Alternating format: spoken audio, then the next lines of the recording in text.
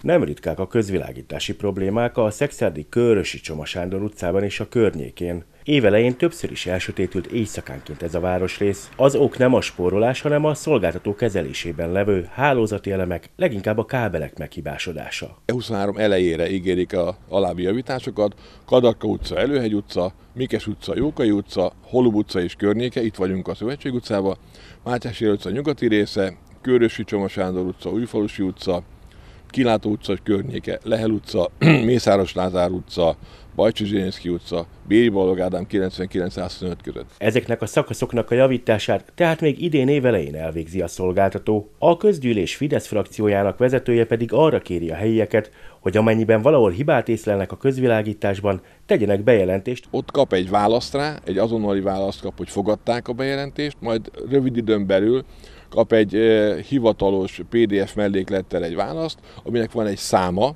ez egy iktatószámmal, hogy milyen számban iktatták a hibát. Hogyha ez ismétlődik, akkor ugye erre tud hivatkozni, vannak ismétlődő hibák, pont ezek, a, ezek miatt lesznek a javítások. Az idei évre vonatkozóan egyébként apró fejlesztések is terben vannak, például a Holuba, a Béri Balogádám és a Damjanics utcákban kandelláber alapzat és kábelcseréje történik meg közel 20 millió forint értékben.